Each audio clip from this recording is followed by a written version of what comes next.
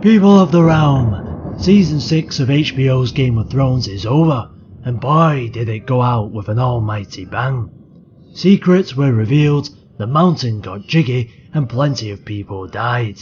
This video will discuss one such revelation. Jon Snow's mother has finally been revealed, and her name is Lyanna.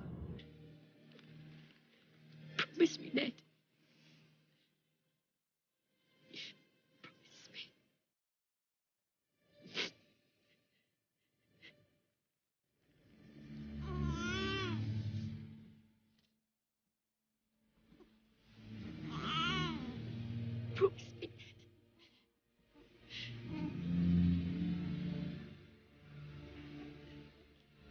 me.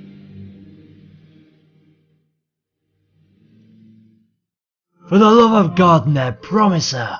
Westerosi and Essosi. Sit on your ears and perk up your ears, for today we celebrate a fantastic end to the season. Lyanna Stark is Jon Snow's true mother, as shown through the eyes of the three-eyed raven Bran Stark, who has discovered the true power of the TARDIS. Now that we know the Bastard of Winterfell is Ned's nephew and not his son as we were led to believe, but the question is, when will this half Stark be revealed as the secret Targaryen we all know him to be? For many a year, the most popular theory for Jon's parentage has been R plus L equals J, and it appears as if the show is certainly heading that way. For those not familiar with this theory, allow me to quickly educate you. Years before Game of Thrones begins, there is a tale of how Robert Baratheon, his best friend and his mentor, battled the Mad King for the Iron Throne. This is known as Robert's Rebellion. Stag, Wolf, Trout and Falcon versus the Dragon, the Sunspear and the Rose.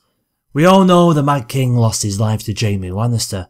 We know his son Rhaegar was slain on the Trident by Robert Baratheon, who caved in his chest with a blow from his mighty warhammer. Amory Lorch slew young Princess Rhaenys, stabbing her over 50 times, whilst Gregor Clegane smashed the head of Aegon against the wall, killing him. With her child's blood on his hands, the mountain then raped Rhaegar's wife Elia Martell, then ended her by crushing her head with his bare hands. I tell you these things not to shock or scare, but so you know that no matter what side of the family you look at, Stark or Targaryen, if you are half brother or half sister to Jon Snow, then you better watch your back. Now that you know how it ended, now you must understand how it all began. Robert Baratheon had been betrothed to Lyanna Stark, sister of his best friend Eddard. It would appear that Robert loved Lyanna, but the feeling wasn't exactly mutual. During the tourney of Harrenhal, Rhaegar after winning the tournament bypassed his own wife to present the crown of love and beauty to Lyanna Stark. And that is where the seeds of war were truly sown. Now full to the brim the powder keg was ready to blow, and the match that lit this particular fuse was the supposed kidnapping of Lyanna Stark by Rhaegar Targaryen, and the subsequent murder of Rickard and Brandon Stark by his father, the Mad King. The war raged on and eventually the Targaryens were defeated, with Viserys and Daenerys being smuggled away to safety. And that left one last Targaryen, and he was at the Tower of Joy. So I surmise that Rhaegar, as is custom with some Targaryens, took Lyanna as a second wife, and that the child that would become Jon Snow was a result of this union. Get us some water.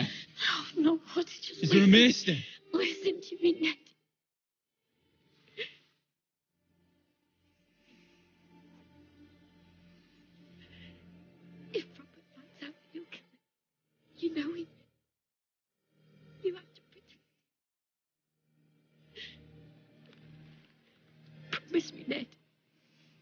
With the King's Guards and Lyanna dead, Honourable Ned had little choice. He returns to Sword Dawn to the Daynes in Starfall, then heads north to Winterfell, where he passed Jon off as his own war bastard. Now that the TV show has revealed this, what next? His Aunt Daenerys is on her way back to conquer the Seven Kingdoms, not knowing that her nephew Jon Snow is now king in the north and actually has a better claim to the Iron Throne than Dany. That's if his parentage actually gets out and is proven, as they are destined to march either into battle or into bed with each other. This is the Song of Ice and Fire after all. The dragon does have three heads, and here we have two of them. But what if there's a missing part of the Tower of Joy scene, something we have yet to see yet? Where a grieving Ned holding one child in his arms is then presented with a second. He's presented with twins. And at that, this second child is a girl, a sister, that was brought up none other than fellow Tower of Joy survivor Howland Reed. At the end of the day, this video is about HBO's Game of Thrones, so my hopes of the books are somewhat different. But that's a tale for another time. So when will Jon actually find out about his parentage? Well, it just so happens that Bran is on his way back through the wall. I think it's only a matter of time before these half-brothers meet again, and then the tale can be told to Jon, so he finally finds out who his mother is. But the question is, does Bran really know who his father is? Would he surmise that he's Rhaegar Targaryen, or would this other vision confirm it somehow? I for one believe that Rhaegar is his father. It's pretty much proven there, otherwise Lyanna would not tell Ned. If Robert finds out, he'll kill him. You have to protect him. Promise me, Ned. Only a child of Rhaegar Targaryen would be in such difficulties that would need protection of Ned Stark. So the fires of Fury grow cold for now. Gather your furs, down your swill and saddle your steeds, for I am the Northlander, and remember, you know nothing, and neither do I. Comment, like and subscribe for more, you bastards, and I hope that you all enjoy.